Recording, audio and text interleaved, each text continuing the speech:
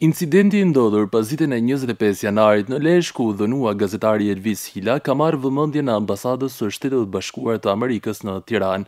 Ambasadorja Yuri Kim zhvilloi një takim me kreun e Unionit të Gazetarëve Shqiptarë Aleksandër Çipa, duke shprehur shqetësimin për sulmet dhe kërcënimet e fundit kundër gazetarëve dhe përsëritur mbështetjen e Shteteve të Bashkuara të Amerikës për një media të pavarur dhe të lirë. Ambasadorja Yuri Kim u takua me zotin Aleksandër Çipa, kreun e Unionit të Gazetarëve Shqiptarë për të përsëritur mbështetjen e Shteteve të Bashkuara të Amerikës për një media të pavarur dhe të lirë, e cila është jetike për demokracinë e Shqipërisë dhe rrugën drejt Bashkimit Evropian. Ambasadorja Kim theksoi se për Shtetet e Bashkuara, liria dhe siguria e gazetarëve janë thelbësore. Ajo shprehu shqetësimin për sulmet dhe kërcënimet e fundit kundër gazetarëve dhe kërkoi solidaritet mes gazetarëve për të dënuar sulme të tilla dhe për të kërkuar llogari.